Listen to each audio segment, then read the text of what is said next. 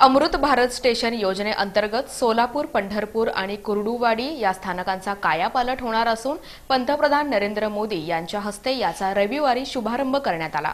पंतप्रधान नरेंद्र मोदी यांच्या हस्ते अमृत भारत स्टेशन योजनेअंतर्गत पाचशे आठ रेल्वे स्थानकांच्या पुनर्विकासाच्या पायाभरणी शिलान्यास कार्यक्रम पार पडला.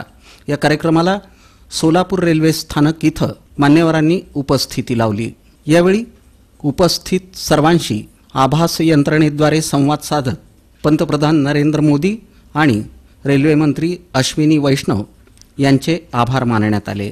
या कार्यक्रमाला खासदार डॉक्टर जयसिद्धेश्वर शिवाचार्य महास्वामी आमदार Sachin Kalyan Shetty D R M Neeraj Kumar Dohare जिल्हाधिकारी कुमार आशीर्वाद जिल्हा परिषदेच्या मुख्य कार्यकारी अधिकारी मनीषा आव्हाळे आमदार सुभाष देशमुख भाजपचे सोलापूर लोकसभा अध्यक्ष विक्रम देशमुख माजी महापौर श्री कांचना यन्नम माजी महापौर शोभा बनशेट्टी रेल्वे विभागाचे इतर अधिकारी कर्मचारी तसंच सोलापूर जिल्ह्यातील नागरिक मोठ्या संख्येनं उपस्थित होते.